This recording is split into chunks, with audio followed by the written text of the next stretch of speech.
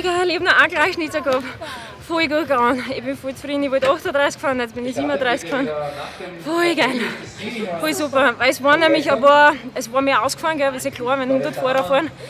Und ein paar un, äh, ja, viel tiefere Wellen sind hergekommen, aber es ist mir so gut gegangen, ich habe so einen schönen Speed gehabt, das nachher ja, ja, ja, ja, Mountain Rocks. Ich bin bei der Wurzel hängen geblieben und so mit Oberkörper über den Lenker und eben gestanden. Da waren noch zwei, drei Sekunden drinnen.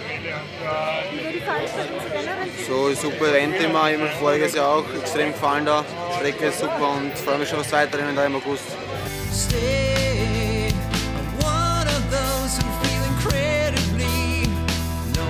bin schon halbwegs ins Fahren gekommen und ein, zwei Sekunden wären schon nicht schlecht gewesen, wären noch drin gewesen, vielleicht ein bisschen was, aber im Großen und Ganzen passt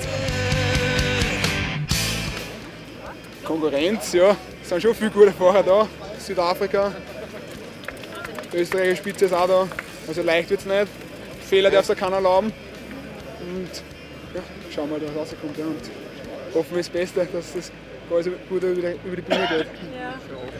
And one day we will meet again. Ja, dritter Platz, sau geil. Schon passt. Was sagst du generell zur Veranstaltung? Ja, eh, cool. Cool organisiert.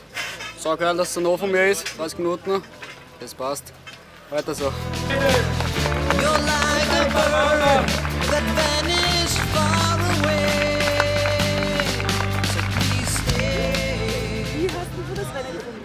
Ja, es war voll super, war voll taugt. War jetzt zum Schluss ziemlich schnell. Ah, und die Strecken liegt mir irgendwie. Wie hast du dich vorbereitet auf die Saison? Ja, ich habe im Winter ganz viel trainiert. Das hat sich ausgezahlt. Wir können stolz sein auf unsere Leute.